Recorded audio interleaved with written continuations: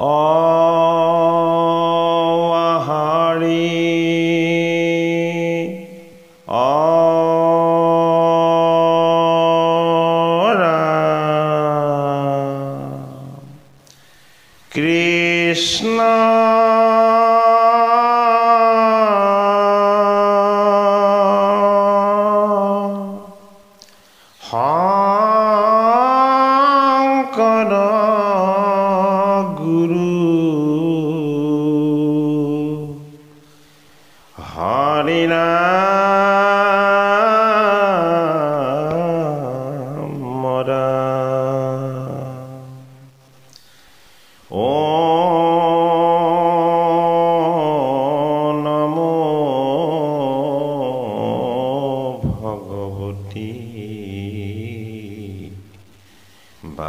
বাসুদেৱায় হে কৃপালু বৈষ্ণৱ সমস্ত আমি ক্ৰমশঃ আগবঢ়াই অহা শ্ৰীকৃষ্ণ গীতাৰ পাঠ আৰু পৰ্যালোচনাৰ অনুষ্ঠানলৈ আমি আপোনাসৱক সেৱা জনাইছোঁ। আমি আজি পাঠ আৰু পৰ্যালোচনা আৰম্ভ কৰিবলৈ লৈছোঁ শ্ৰীকৃষ্ণ গীতাৰ গোবিন্দ মিশ্ৰকৃত তৃতীয় অধ্যায় কৰ্মযোগ পদ। অৰ্জুন মগন ভোলা শোক পংকে পৰি।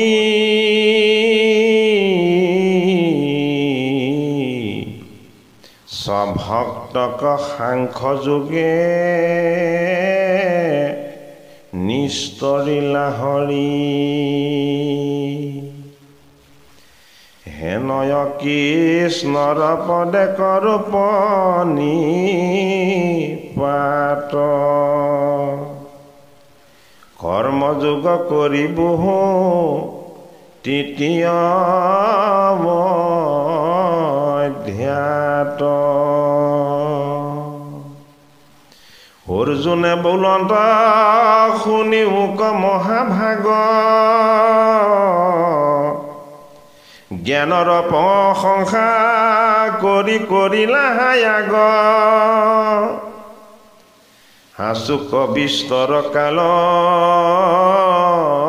মৰণ সময়।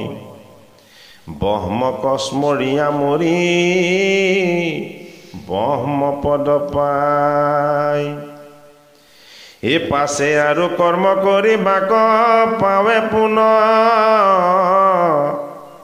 অ তোমাৰ বাক্যক বুজি বাক পাৰে কোন? এই যুদ্ধ হিংসাত্মক কৰ্ম ঘূৰ নিবাৰ অ তাত কেনে মোক পৰ্ব তোৱা বাৰম্বাৰ।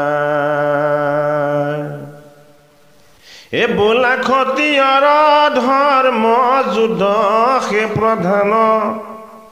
কৰ্ম নকৰিলে আগে নোপোজয় জ্ঞান। এটো দুই বিধ বাক্যে ভ্ৰমে মোৰ মন।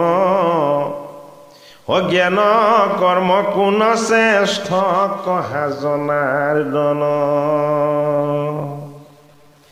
এ কৃষ্ণে বোলে যেন মই কহিলো পূৰ্বত। জ্ঞান কৰ্ম দেখাইলো দুই গোটা পথ। এ তাহাৰ নিৰ্ণয় কহো শুনা তত বুদ্ধি। কৰ্ম নকৰিলে আগে নহে সত বুদ্ধি। অবিনাশত বুদ্ধি মন সুস্থ নোহে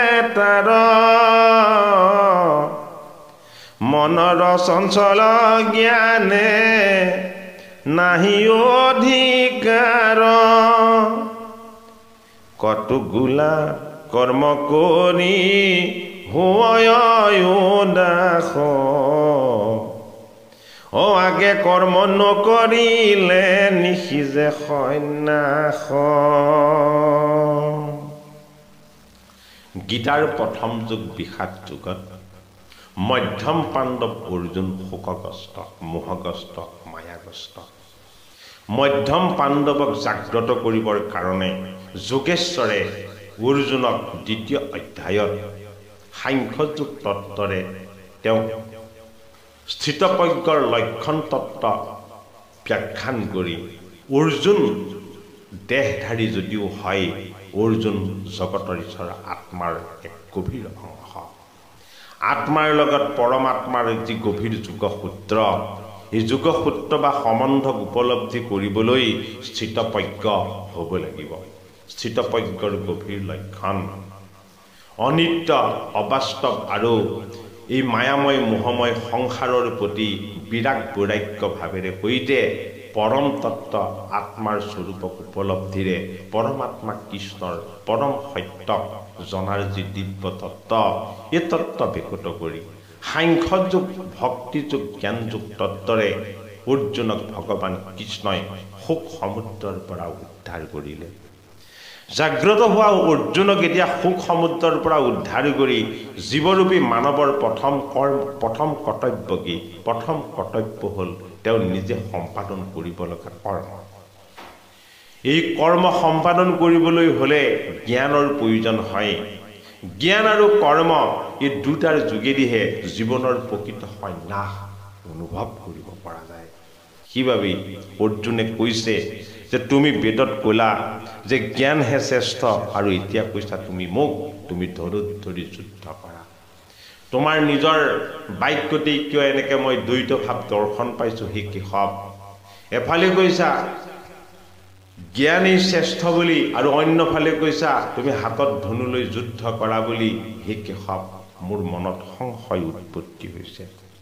ক্ষত্ৰিয়ৰ যুদ্ধ ধৰ্মই যদি প্ৰধান ধৰ্ম হয় কৰ্ম তেতিয়াহ'লে আমি যুদ্ধৰ লগত বা যুদ্ধই যদি আমাৰ জীৱনৰ কৰ্ম হয় ক্ষত্ৰিয়ৰ তেতিয়াহ'লে। কৰ্ম আৰু জ্ঞান এই দুয়োটা বস্তুৰ মাজতনো কি তত্ত্বগত সম্বন্ধ আছে? আপুনি মোক সেই কথা বিদিত কৰক। ভগৱান কৃষ্ণই তেতিয়া অৰ্জুনক বুজাই কৈছে যে জ্ঞান কৰ্ম এইটো কোনটো শ্ৰেষ্ঠ? এইটোৰ পৰা তোমাৰ যি ভ্ৰম উৎপত্তি হৈছে মই তোমাক পূৰ্বতেই কৈছোঁ যে জ্ঞান আৰু কৰ্মই দুটা পন্থাহে দেখুৱাইছে। তাৰ মই নিৰ্ণয় কৰিছোঁ শুনা তুমি যেতিয়া তত্ত্ববুদ্ধিযুক্ত হ'বা তত্ত্ববুদ্ধিযুক্ত যদি তুমি হ'ব নোৱাৰা তেতিয়াহ'লে তোমাৰ কৰ্মনো কি তাৰ স্বৰূপক তুমি উপলব্ধি কৰিব নোৱাৰিবা। কৰ্মৰ স্বৰূপ উপলব্ধি কৰিবলৈ হ'লে তোমাৰ শুদ্ধ সাত্বিক বুদ্ধি বা বৃত্তি লাগিব। শুদ্ধ সাত্বিক বুদ্ধিৰ অবিহনে তোমাৰ মন কেতিয়াও সুস্থ নহয় স্থিৰ নহয়। মন যদি তোমাৰ স্থিৰ নহয় তেতিয়াহ'লে চঞ্চল মনেৰে সৈতে তোমাৰ জ্ঞানৰ স্বৰূপ অজ্ঞান ৰূপেৰেই প্ৰতিভাত হৈ থাকিব। আৰু চঞ্চল মন আৰু অজ্ঞান অজ্ঞানৰ বশৱৰ্তী হৈ তুমি যিবিলাক কৰ্ম কৰিবা সেই কৰ্মবিলাকৰ যোগেদি তোমাৰ কৰ্মৰ বন্ধন চিহ্ন নহয় আৰু সেই কৰ্মই তোমাক কৰ্মৰ স্পৃহাৰ পৰা তোমাক মুক্ত কৰিব নোৱাৰে। সেইবাবেই ভগৱান কৃষ্ণই জ্ঞান কৰ্ম ই তত্ত্ব কথা অৰ্জুনক কৰ্মযুগত প্ৰথমতেই ব্যাখ্যান কৰিছে। হিচাৰ পুনু কৰ্ম কৰি শুদ্ধ হোৱে মন। তাকে সে কহিল জ্ঞান জানিবা অৰ্জুন। হে অৰ্জুন যিজনে সৎকৰ্মৰ যোগেদি মনক শুদ্ধ কৰিব পাৰিছে সৎকৰ্মৰ যোগেদি মনক পবিত্ৰ কৰিব পৰাৰ যিটো পন্থা এই পন্থাটোৰ যোগেদি জ্ঞান অৰ্জন হয় যি জ্ঞানক সাত্বিক জ্ঞান বুলি কোৱা যায়। এই কৰ্ম কৰি যাৱত শুদ্ধ নহে চিত। বৰ্ণাশ্ৰম ধৰ্ম কৰি বেক যথোচিত কৰ্ম কৰি যদি তোমাৰ চিত্ত শুদ্ধি নহয় তেতিয়াহ'লে তুমি যথোচিতভাৱে বৰ্ণাশ্ৰম ধৰ্ম পালন কৰিবা। এই পাৰ্থে বোলে হেন যদি হোৱে ভগৱান এ তবে প্ৰথমতে কেনে কহিলা জ্ঞান? কৃষ্ণে বোলে যি কাৰণে কহোঁ সেইটো তাৰ। এ তোমাৰ শুকৰ দেখো নাহি পাৰা পাৰ। তুমি সুখ সমুদ্ৰত যেনেদৰে ডুব গৈছিলা তোমাক সেই শোকৰ সমুদ্ৰৰ পৰা উদ্ধাৰ কৰিবৰ কাৰণেই মই তোমাক প্ৰথম জ্ঞানযুক্ত আত্মতত্বৰ কথাৰে মই তোমাক অনুভৱী কৰি তোমাৰ সংসাৰৰূপী বন্ধনলৈ থকা দৃষ্টিটোক মোৰ ভক্তিৰ জ্ঞানৰূপী ঈশ্বৰ কৃষ্ণৰ ফালে মই নিবন্ধিত কৰিবৰ কাৰণে। মই তোমাক প্ৰথম সাংখ্যযুক্ত তত্বৰূপেৰে জ্ঞানৰ কথাকে বিকত কৰিলোঁ। এই সুকে গুচাই বাকন পাৰয় একোমতে এই এতেকতে সাংখ্য জ্ঞান দিলো প্ৰথমতে। জ্ঞানী বায় জ্ঞানী যত আচয় সংসাৰে। বিনা কৰ্মে ক্ষণ মাত থাকিতে নপাৰে। প্ৰকৃতিৰ তিনি গুণ স্বভাৱ পূৰ্বৰ এই সকলো গুণৰ বয়স লোক গুণে থাকি কৰে শোভা শুভ ধৰ্মা ধৰ্ম পূৰ্বৰ সংস্কাৰ যে আপুনি কৰে কৰ্ম স্বৰূপে অজ্ঞানী বোলে মই জ্ঞানশীল। কৰ্মেন্দ্ৰিয় নিৰোধীয়া কৰ্ম কৰিল। কিন্তু পুনু মন বিষয়ত আছে যাৰ। যতে ক চিন্তন ধ্যান কপট আচাৰ।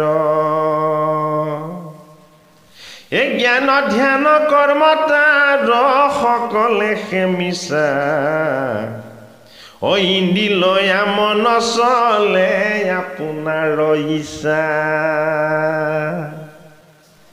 যিকোনো মন কণীয় মিল ভাল মতে হব ইন্দি বৈশৱ হৈলা মনৰ লগতে যেনি তেনি মন চলে ইন্দ্ৰিয়কলৈ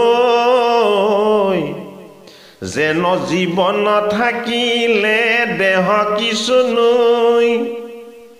ঈশ্বৰক অৰ্পি কৰ্ম কৰে ফল ত্যাগ।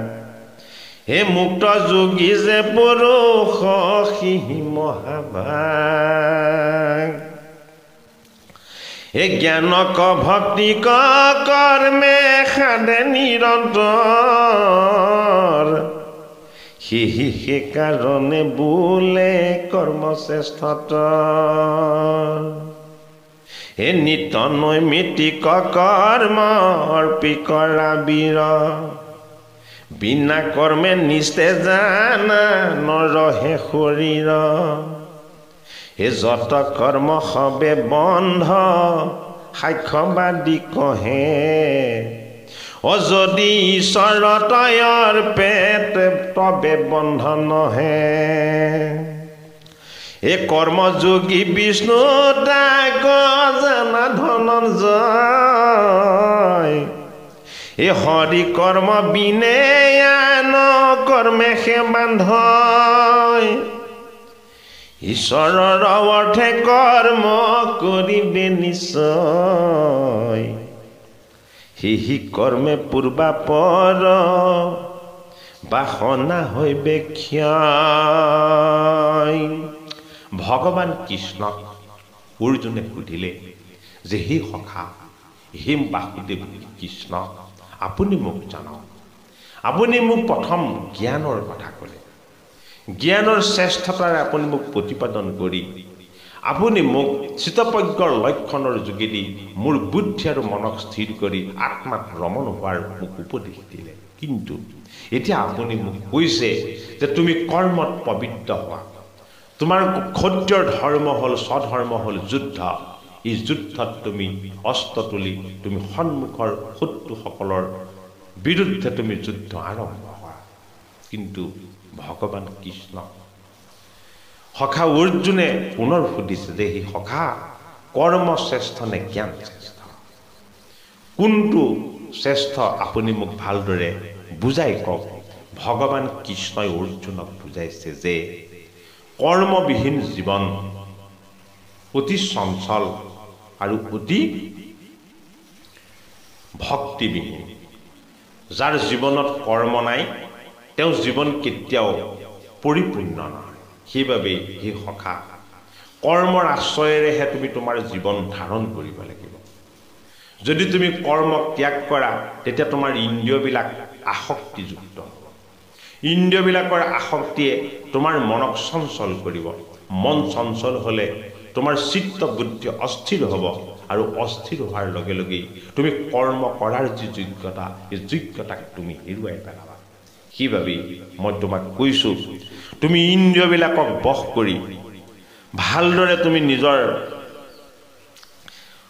তত্ত্বযুক্ত পুৰুষৰ যি লক্ষণ সেইসমূহক তুমি উপলব্ধি কৰি তুমি সমস্ত নিত্য নৈমিত্তিক কৰ্ম সম্পাদন কৰা কিন্তু মনত ৰাখিবা সমস্ত কৰ্মই কিন্তু মুঠ সমৰ্পিত হ'ব লাগিব। মুঠ অৰ্পণ কৰি যদি তুমি কৰ্ম কৰা মোক আনন্দিত কৰিবৰ কাৰণে মই স্বৰূপ ভগৱানৰ কাৰণে যদি তুমি কৰ্ম কৰিছোঁ বুলি যদি তুমি কৰ্ম সম্পাদন কৰা তেনে কৰ্মত আনন্দ থাকিব আৰু তেনে কৰ্মৰ বন্ধনে কেতিয়াও তোমাক বন্ধনত নেপেলায়। মোক অৰ্পণ কৰা শুদ্ধ সাত্বিক কৰ্মই তোমাক কৰ্ম বন্ধনৰ পৰা মুক্ত কৰিব আৰু সেই অৰ্জুন এই যুদ্ধখন তুমি তোমাৰ কাৰণে কৰাটো উচিত নহয়। এই যুদ্ধ তুমি জীৱন পাইছা আৰু এই জীৱনক পৰম পবিত্ৰ সত্যৰ ধামলৈ যদি নিবলৈ হয় তুমি এই যুদ্ধত পবিত্ৰ হ'ব লাগিব এই যুদ্ধ তুমি কৰিব লাগিব মোৰ চৰণ সেৱাৰ বাবেহে মোক সন্তুষ্ট কৰিবৰ কাৰণে আৰু মোৰ তত্ত্বক তুমি সাক্ষাৎ কৰিবৰ কাৰণেহে তুমি জীৱনত কৰ্ম কৰিব লাগিব। যি কৰ্ম মুঠ উৎসৰ্গিত হ'ব সেই কৰ্মই তোমাক কেতিয়াও কৰ্মৰ ফলৰ বন্ধনত নেপেলায় আৰু কৰ্মফলৰ বন্ধনৰ পৰা মুঠ অৰ্পিত কৰ্মই তোমাক মুক্ত কৰিব। আৰু সি কৈছোঁ শুদ্ধ সাত্বিক কৰ্ম কৰিবৰ কাৰণে তত্ত্বজ্ঞানৰ প্ৰয়োজন। তত্ত্বজ্ঞান যদি নহয় কৰ্ম বিশৃংখল হ'ব পাৰে কৰ্ম মুঠ অৰ্পিত নহ'ব পাৰে কৰ্ম বন্ধনযুক্ত হ'ব পাৰে।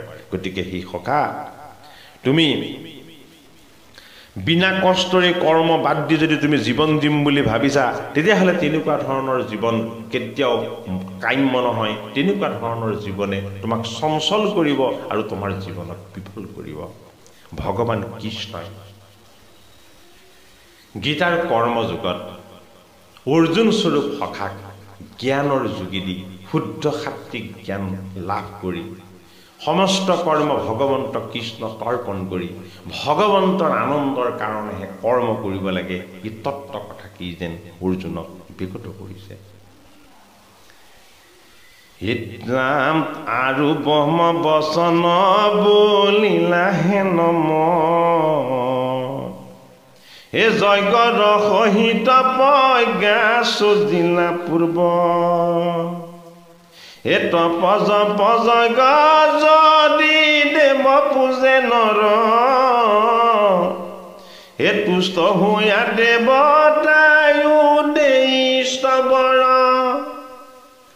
হে অন্য অন্য দুহাতৰো সাধে ইষ্টজু অ দেৱে দে অৰ্থ কামনুছে কৰৈ ভোগ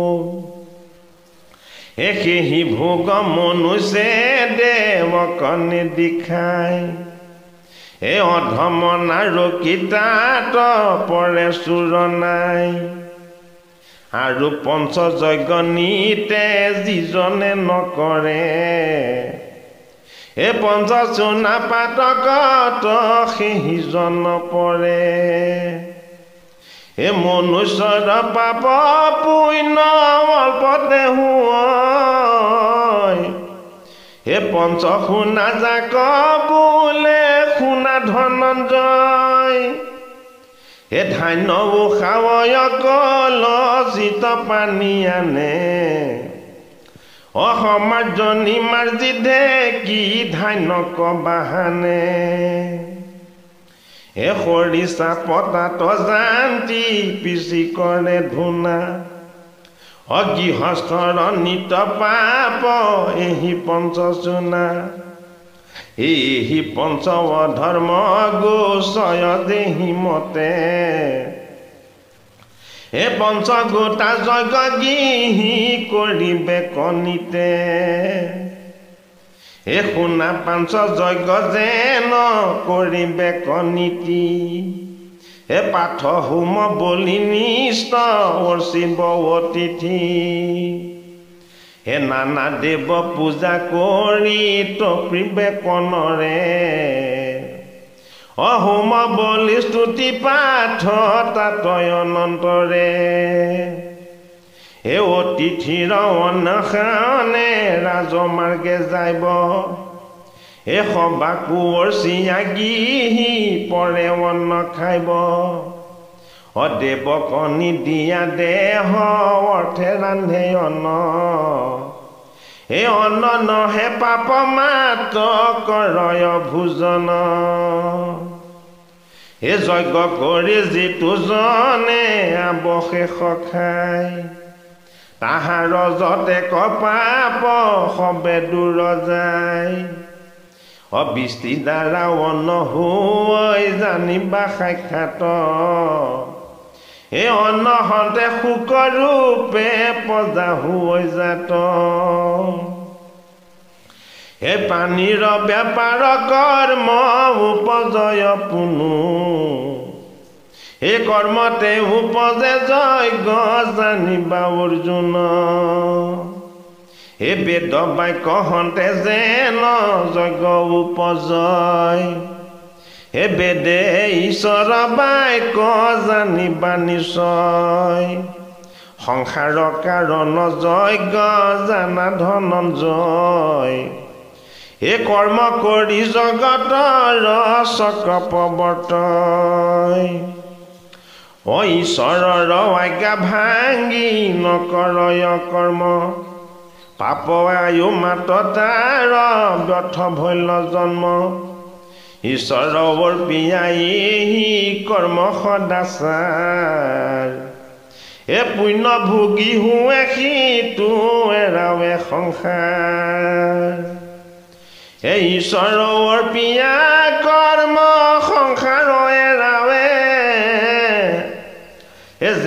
দধি মঠিলাথ দুগ্ধ গীত হোৱে হে যিপোনো আত্মাতৰ অতি তুষ্টি সৰ্বদাই। অ তাৰে সে জানিবা কিঞ্চি তেকো বন্ধ নাই। হে হৰিৰাম